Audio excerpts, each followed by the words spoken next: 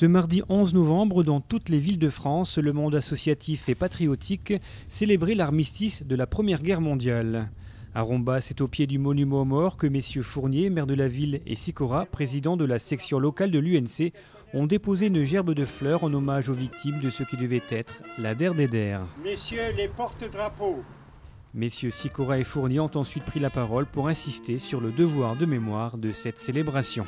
aussi, en ce 90e anniversaire, la France entière montre aujourd'hui sa reconnaissance en rendant un solennel hommage à tous ceux qui ont fait le sacrifice de leur vie pour la paix et la liberté. Ne serait-il pas temps alors de faire du 11 novembre la journée nationale du souvenir des morts? De tous les conflits Que cette journée perdure et que le 11 novembre de chaque année demeure un jour d'hommage et de recueillement. La France se souvient et n'oublie pas l'engagement passionné de 2 millions de combattants venus des États-Unis d'Amérique.